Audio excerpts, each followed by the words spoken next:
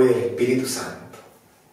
El Dios providente, que nos invita a caminar en la confianza, esté con cada uno de ustedes. Del Evangelio según San Mateo.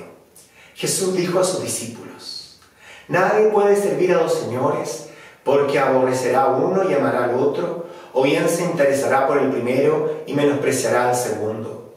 No se puede servir a Dios y al dinero. Por eso les digo, no se inquieten por su vida pensando qué van a comer o qué van a beber, ni por su cuerpo pensando con qué se van a vestir. ¿No valen acaso más la vida que la comida y el cuerpo más que el vestido? Miren los pájaros del cielo. Ellos no siembran ni cosechan, ni acumulan en graneros, y sin embargo el Padre que está en el cielo los alimenta. ¿No valen acaso ustedes más que ellos?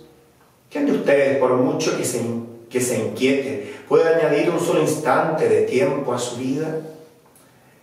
¿Y por qué se inquietan por el vestido? Miren los lirios del campo, cómo van creciendo sin fatigarse ni tejer. Yo les aseguro que ni Salomón, en el esplendor de su gloria, se vistió como uno de ellos.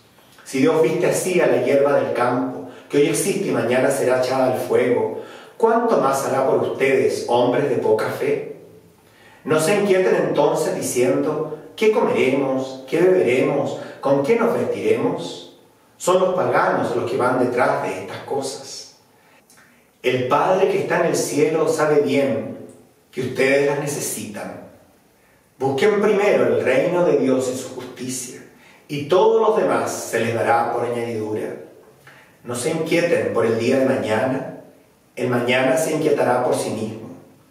A cada día le basta su propia aflicción.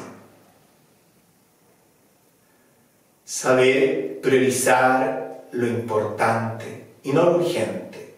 Saber apuntar a lo esencial y no a lo superfluo.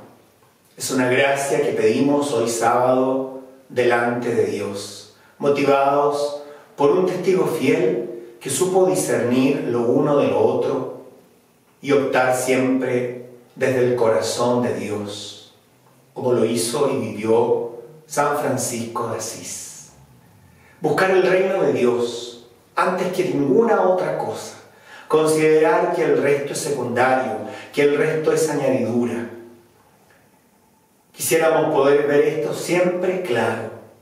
Y para eso tenemos que aprender a discernir, a ponderar las cosas en la vida diaria y una vez discernido tal o cual hecho, tal o cual conducta, optar desde Dios, al modo de Jesús, como optó y vivió el santo de Asís. Pidamos para nosotros, hombres y mujeres de este tiempo, saber privilegiar, buscar siempre el reino de Dios y su justicia.